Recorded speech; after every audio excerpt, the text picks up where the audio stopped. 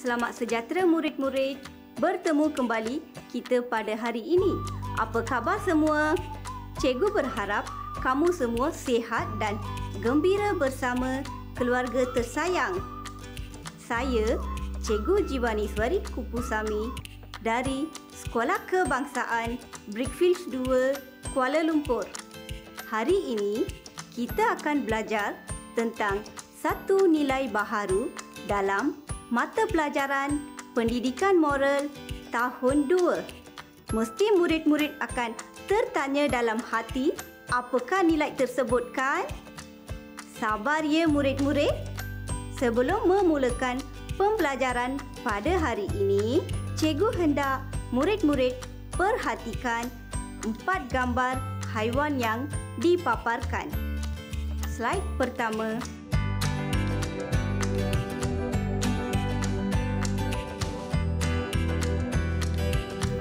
Dan slide kedua.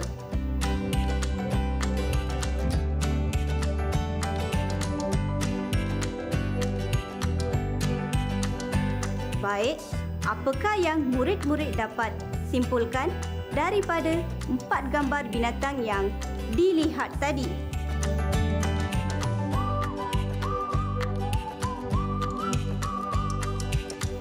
Ya, betul tekaan murid-murid. Baiklah, daripada jawapan tadi, cuba fikir apakah nilai yang sesuai untuk keempat-empat gambar tersebut. Wah, tepat sekali. Bagus murid-murid. Tepuk tangan untuk diri sendiri ya. Nilai yang kita akan mempelajari ialah nilai kasih sayang. Murid-murid, ingat lagi tak tema pendidikan moral tahun 2? Ya, tepat sekali. Saya dan keluarga. Baik murid-murid, hari ini kita akan menumpukan cara-cara menyayangi ahli keluarga dan kepentingan menyayangi ahli keluarga.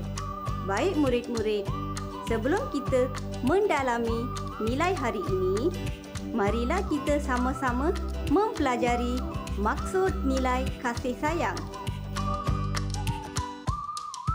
Nilai kasih sayang bermaksud kepekaan dan perasaan cinta yang lahir daripada hati yang ikhlas.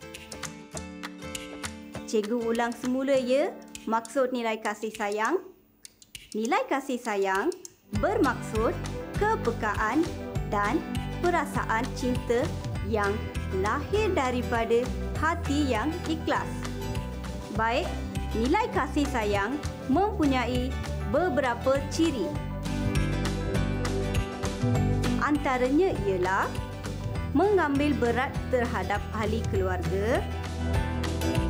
Kedua, saling membantu antara satu sama lain. Ketiga, sentiasa mewujudkan suasana yang ceria dan harmoni apabila berinteraksi. Keempat, sentiasa meluangkan masa bersama ahli keluarga. Dan yang kelima, saling menyayangi antara ahli keluarga. Jom kita belajar cara-cara menyayangi ahli keluarga. Murid-murid, walaupun terdapat banyak cara menyayangi ahli keluarga, kita hanya mempelajari lima cara bagaimana menunjukkan kasih sayang terhadap keluarga. Cara pertama ialah membantu ibu bapa melakukan kerja rumah. Ya murid-murid, amalan bantu-membantu perlu diamalkan untuk menjadikan kehidupan sesebuah keluarga itu lebih rapat dan harmoni.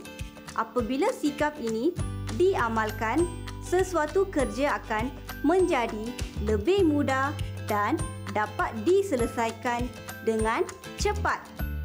Sebagai contoh, kerja rumah seperti menyapu sampah mencuci pinggan, mengemuk lantai, mengelap meja, menyidai pakaian, membuang sampah dan mencuci kereta.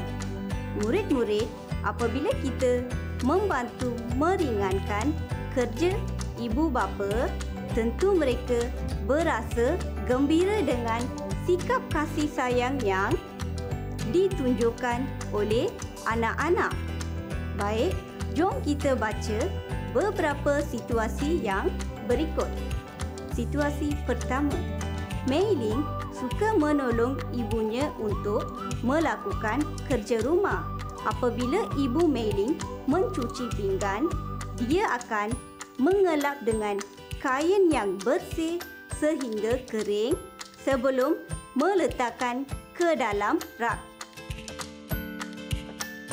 Situasi 2. Walaupun kedua-dua anak Puan Rosi adalah lelaki, mereka tetap membantu ibunya membuat kerja rumah.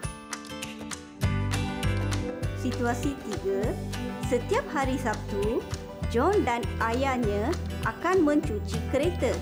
Ayah John berasa gembira kerana mendapat anak yang menyayangi hali keluarga. Murid-murid yang dikasihi sekalian, cuba fikir apakah yang berlaku jika kita tidak membantu ahli keluarga dalam meringankan kerja rumah? Dapatkah kamu fikir kesan yang dialami oleh ahli keluarga kita jika mereka membuat semua kerja rumah tanpa bantuan daripada ahli keluarga? Pertama, ibu bapa akan berasa cepat letih. Kedua, ibu bapa akan mudah menghidap penyakit seperti sakit kaki, sakit tulang belakang, sakit kepala dan lain-lain penyakit akibat tidak cukup rehat. Ketiga, tidak dapat menghabiskan masa terluang bersama keluarga. Keempat, wujud perasaan tidak puas hati antara ahli keluarga. Murid-murid dapat bayang tak apakah kesan yang mungkin berlaku jika kita tidak membantu ibu bapa kita di rumah? Adakah sanggup melihat ibu bapa tersayang kita berada dalam kesusahan? Tidak mungkin kan? Bagus. Cara kedua ialah bermain bersama adik-beradik. Bermain bersama adik-beradik? Murid-murid suka kan bermain dengan adik-beradik? Mesti kamu fikir, kenapa cikgu menyuruh bermain bersama adik-adik? Betul tak? Jawapannya, salah satu cara kita merapatkan hubungan dengan adik-beradik ialah bermain bersama mereka.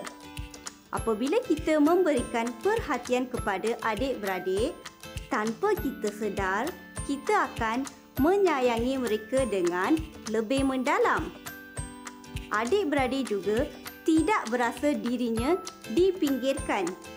Selain bermain, kamu juga boleh membantu adik memakai baju, menyusun alat permainan adik supaya tidak hilang mengajar mengenal huruf, tidak memukul dan menjaga adik dengan baik.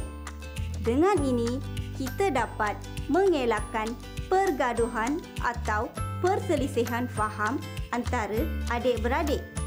Kita juga patut berkongsi alat permainan dengan adik-beradik.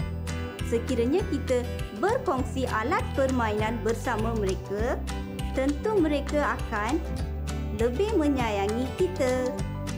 Apabila kita menjaga adik dengan baik, mereka tidak berasa takut dan sentiasa ingin meluangkan kasih sayang terhadap kita. Murid-murid, jom kita baca tiga situasi bagi gambar-gambar berikut. Situasi satu. Adik, Jom kita bermain sama-sama. Ini alat permainan kakak. Bagusnya kakak. Terima kasih. Situasi 2. Julia suka berkongsi alat permainan dengan adiknya. Situasi 3. Apabila mempunyai masa lapang, Kalai akan bermain dengan adik bongsunya. Baiklah murid-murid, jom kita menguji minda dengan meneka jawapan yang betul bagi kuis berikut.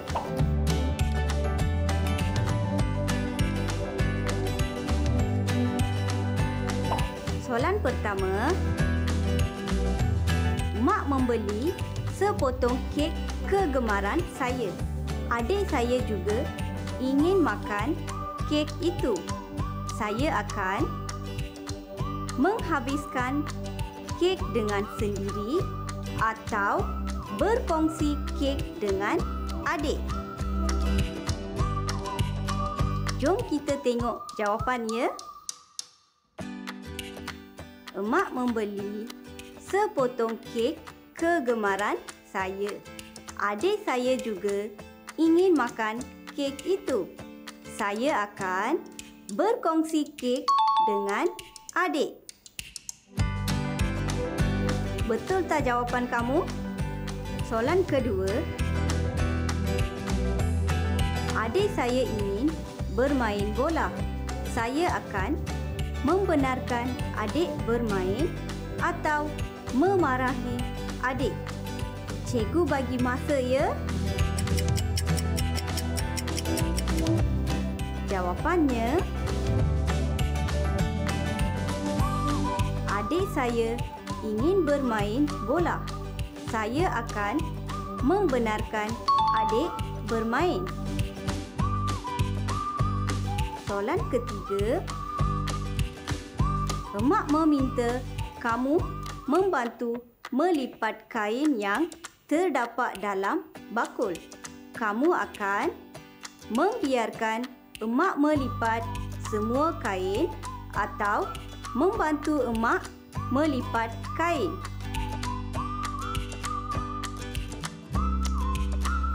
Boleh jawab murid-murid?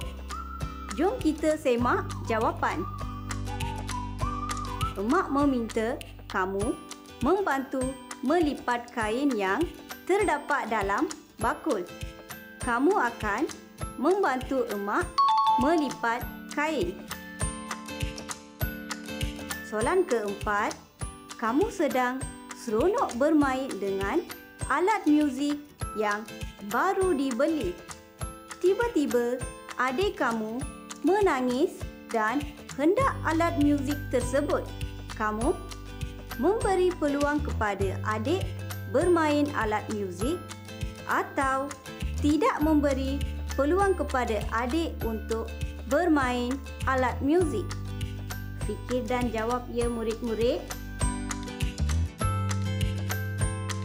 Jawapannya, kamu sedang seronok bermain dengan alat muzik yang baru dibeli. Tiba-tiba, adik kamu menangis dan hendak alat muzik tersebut. Kamu memberi peluang kepada adik bermain alat muzik tersebut. Cara ketiga ialah mengetahui minat keluarga. Baik murid-murid, setiap orang mesti mempunyai minat dalam sesuatu bidang. Sebagai seorang ahli keluarga, kita seharusnya tahu minat mereka. Kita perlu menjadi pendorong bagi meningkatkan minat dalam bidang yang disukai. Sebagai contoh, kita boleh membelikan barang atau benda yang diperlukan oleh ahli keluarga yang lain. Murid-murid Dengar tiga situasi yang berikut. Situasi pertama, Ibu Madi sangat berminat untuk membuat pelbagai jenis kek dan biskut. Sokongan daripada ahli keluarga membuatkan Ibu Madi berjaya membuka sebuah kedai kek. Situasi kedua, Ibu Kamal suka menjahit pakaian kepada ahli keluarga. Kamal dan ayahnya telah menghadiahkan sebuah mesin jahit berkuasa tinggi kepada beliau. Situasi ketiga. Ajay suka mengayuh basikal. Oleh itu, setiap petang Ajay dan ayahnya mengayuh basikal mengelilingi rumahnya. Ajay berasa sangat gembira. Baik murid-murid, cara keempat ialah peka terhadap perasaan setiap ahli keluarga. Mesti anda tertanya-tanyakan bagaimana saya dapat peka terhadap perasaan ahli keluarga saya. Baik, apabila kita tercakap sesuatu atau memarahi ahli keluarga, kita patut meminta maaf untuk menjaga perasaan mereka. Apabila kita bercakap dengan ahli keluarga, kita perlu menggunakan tutur kata yang sopan dan merendahkan suara. Jom kita mendengar tiga situasi ini. Situasi pertama. Ibu, cantik tak jam tangan ini? Ayah belikan untuk saya. Wah, cantiknya jam tangan adik. Situasi kedua. Kakak menasihati Eng supaya tidak bergaduh dengan adiknya. Situasi ketiga, Anita dan Ashok menggunakan bahasa yang sopan apabila bercakap dengan datuk dan nenek. Sikap ini membuatkan mereka disayangi oleh datuk dan neneknya. Murid-murid sekalian, marilah kita menjawab betul atau salah bagi situasi yang diberikan. Situasi pertama, hobi adik kahwin ialah melukis. Dia suka melukis dan mewarnakan gambar pemandangan. Kahwin menghadiahkan adiknya sekotak pensel warna yang mahal. Betul atau salah? Jawapannya betul. Bagus. Situasi kedua. Rosita sedang menyiapkan kerja sekolah. Pada masa itu, ibunya memanggil Rosita untuk membantu menyidai pakaian. Rosita membalas ibunya dengan nada suara yang tinggi. Betul atau salah? Jawapannya salah. Situasi ketiga. Aruna menjaga adik dengan baik sewaktu ibu bapanya tiada di rumah. Betul atau salah? Jawapannya betul. Bagus murid-murid semua. Baik murid-murid, cara kelima ialah menyambut hari lahir atau hari-hari penting. Ya, salah satu cara kita menunjukkan kasih sayang terhadap ahli keluarga ialah dengan menyambut hari lahir atau hari-hari yang penting seperti hari ulang tahun perkahwinan, hari ibu, hari bapa dan sebagainya. Walaupun perkara kecil tetapi itu yang membuatkan kita berasa gembira. Murid-murid yang dikasihi, jom kita mengimbas kembali apa yang telah dipelajari pada hari ini. Baik, cikgu hendak murid-murid bagi tahu satu persatu. Pertama, membantu ibu bapa melakukan kerja rumah. Kedua, bermain bersama adik-beradik. Ketiga, mengetahui minat ahli keluarga. Keempat, peka terhadap perasaan setiap ahli keluarga dan kelima, menyambut hari lahir atau hari-hari penting.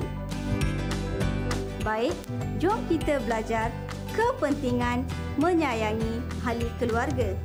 Yang pertama ialah dapat mengeratkan hubungan kekeluargaan. Ya murid-murid, apabila kita menyayangi ahli keluarga, mereka akan rapat antara satu sama yang lain. Perkara ini membolehkan kewujudan keluarga harmoni.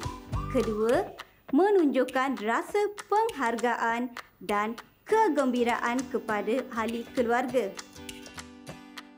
Ya murid-murid, kasih sayang yang kita tunjukkan kepada ahli keluarga dapat menunjukkan rasa penghargaan dan kegembiraan kepada ahli keluarga. Ahli keluarga akan berasa seronok apabila dirinya dihargai. Oleh itu, kita mesti menyayangi ahli keluarga kita. Kepentingan yang ketiga ialah dapat membina keluarga yang aman dan bahagia. Baik murid-murid, semua orang suka akan keluarga yang bahagia. Keluarga aman dan bahagia dibentuk melalui kasih sayang yang amat mendalam terhadap ahli keluarga. Baik, sekarang tibanya masa untuk menguji kefahaman tentang pembelajaran pada hari ini. Jom kita menjawab soalan sebelum akhiri kelas pada hari ini.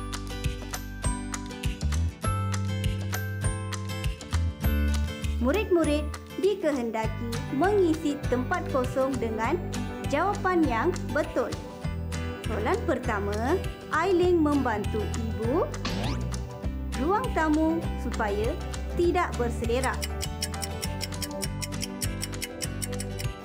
Sudah jawab ya murid-murid?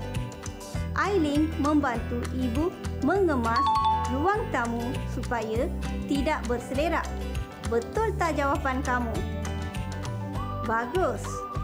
Soalan kedua, memberi kepada ibu sempena hari ibu dengan rasa gembira. Baik, jom kita lihat jawapannya. Memberi hadiah kepada ibu sempena hari ibu dengan rasa gembira. Soalan ketiga, mewujudkan sebuah keluarga yang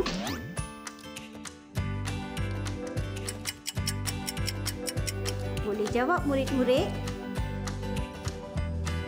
Jom kita semak jawapan mewujudkan sebuah keluarga yang bahagia.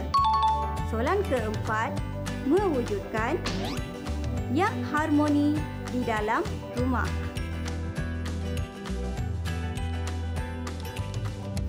Jawapannya, mewujudkan hubungan yang harmoni di dalam rumah.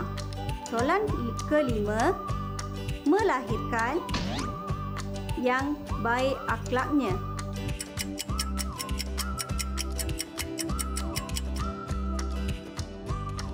Jawapannya, melahirkan individu yang baik akhlaknya. Betul ke semua jawapan kamu? Kalau semua betul, bagus. Tepuk tangan untuk diri sendiri ya murid-murid. Cikgu berharap murid-murid dapat mengikuti latihan yang diberikan. Akhirnya, kita sudah sampai ke penghujung kelas pada hari ini. Sebagai kesimpulan, kasih sayang yang mendalam terhadap ahli keluarga akan menjamin hubungan kesejahteraan sesama keluarga. Baiklah, murid-murid, tibalah masanya untuk cikgu menutup tirai pembelajaran pada hari ini. Cikgu berharap murid-murid dapat memahami nilai kasih sayang yang kita belajari pada hari ini. Kita bertemu kembali dalam episod akan datang. Sekian terima kasih. Jumpa lagi. Bye.